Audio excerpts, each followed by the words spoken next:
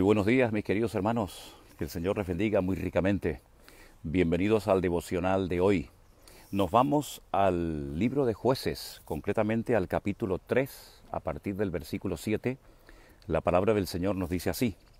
Hicieron pues los hijos de Israel lo malo ante los ojos de Jehová, y olvidaron a Jehová su Dios, y sirvieron a los Baales y a las imágenes de acera.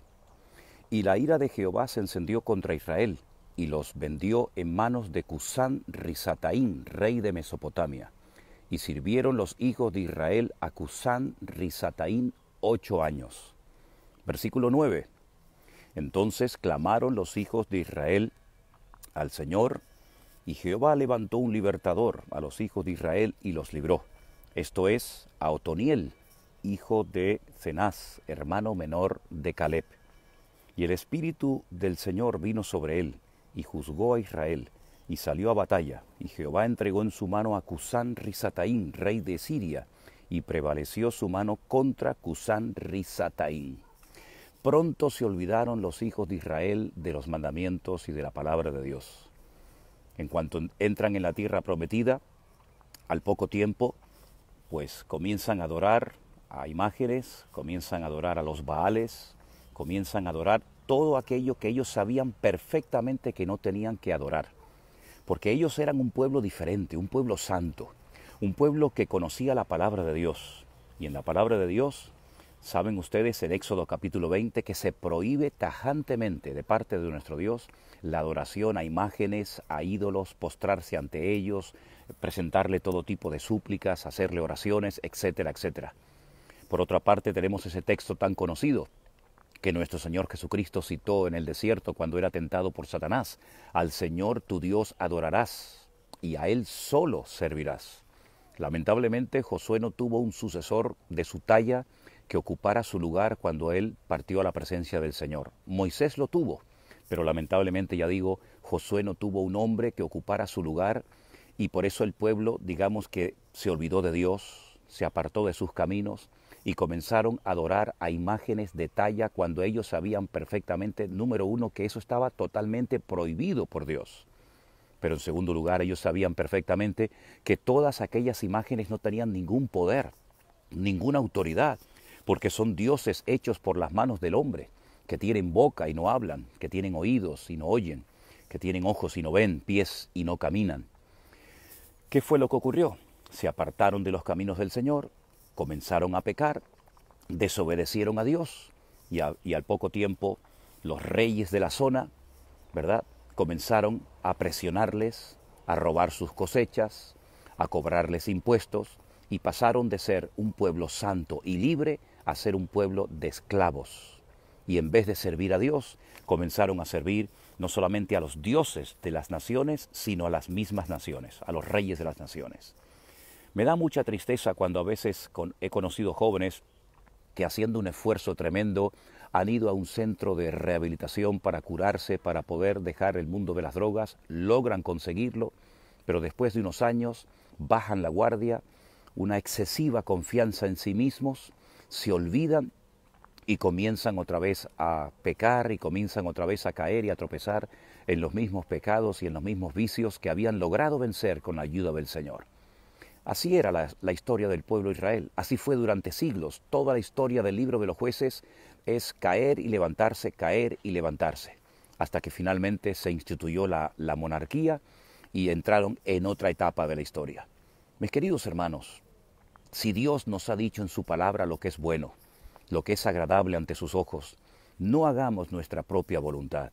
No nos apartemos nunca de los caminos del Señor, creyéndonos sabios en nuestra propia opinión, creyendo que tenemos más razón que Dios, aprobando nuestros argumentos y dejando a un lado la palabra bendita de Dios que nos ha hecho libres y nos ha demostrado la misericordia y el poder de nuestro Dios.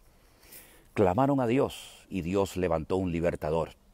Y vamos a ver en el libro de los jueces, si lo leen detenidamente, cómo cada vez que clamaban, Dios levantaba a un juez. Este es el primero, Otoniel, hermano de Caleb.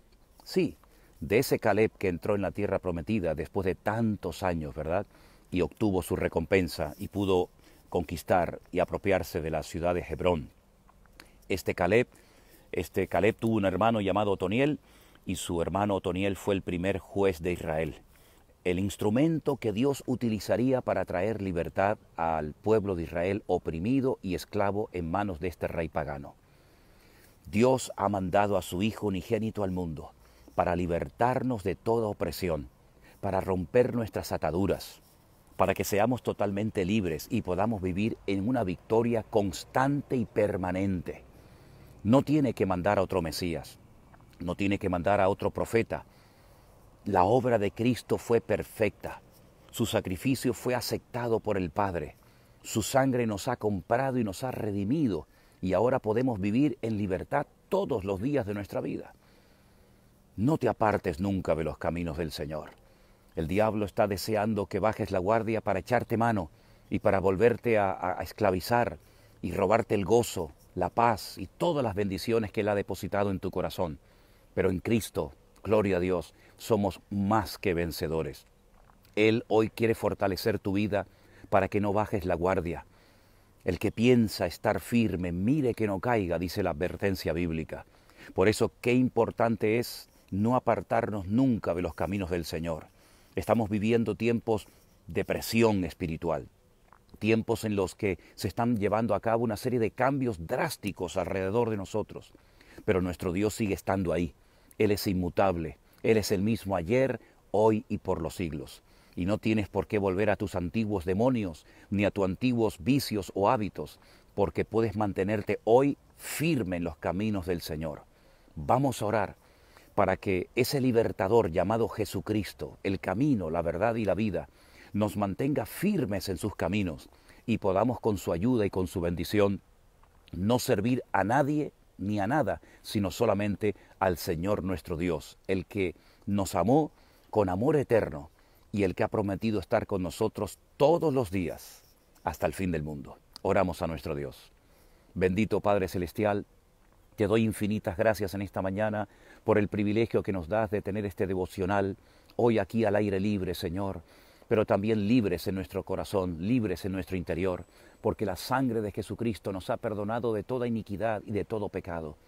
Señor, oro para que tú mantengas a tu iglesia en una rotunda y contundente victoria para que nada ni nadie nos vuelva a esclavizar, sino que podamos mantenernos firmes en tus caminos y ponemos nuestra vida en tus manos, en el nombre de Jesús.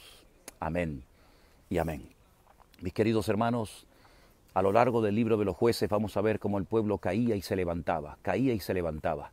Nosotros no vamos a caer y a levantarnos todos los días, sino vamos a mantenernos firmes de victoria en victoria y de gloria en gloria en el nombre del Señor.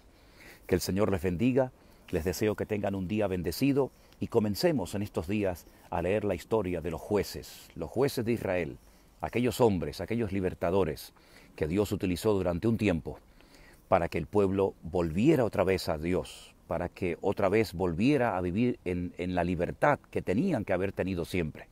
No dejes que nada ni nadie te esclavice hoy.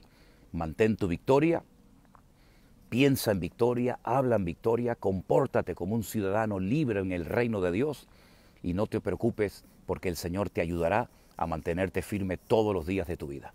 Que el Señor les bendiga muy ricamente, mis queridos hermanos.